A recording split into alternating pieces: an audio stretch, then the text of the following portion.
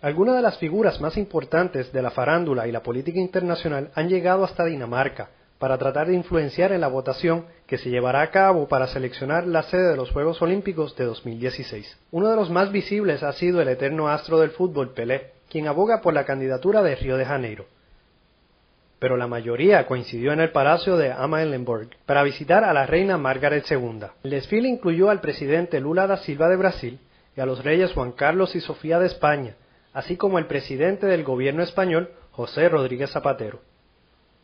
Mucha atención atrajo Oprah Winfrey, aunque la más seguida desde su llegada al país ha sido la primera dama estadounidense Michelle Obama, quien anticipa el arribo de su esposo y el presidente de Estados Unidos, Barack Obama, quien apoya la candidatura de Chicago.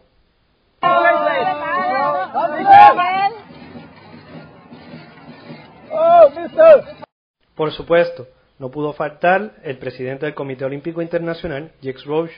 El ejecutivo belga destacó que los esfuerzos realizados por el Comité Olímpico Internacional en contra de la corrupción en el deporte se reflejarán durante la votación.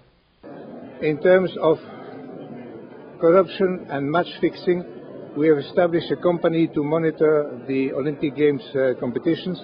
We are working very closely with FIFA, with UEFA, but also with other federations, International Tennis Federation, on monitoring illegal betting and gambling. So I think that is already uh, something that we are doing. Are you sure there is no corruption in this election on Friday? Absolutely, yes. No doubt about that. How can you be that? Because, because I believe and I trust that we have put very good measures in place.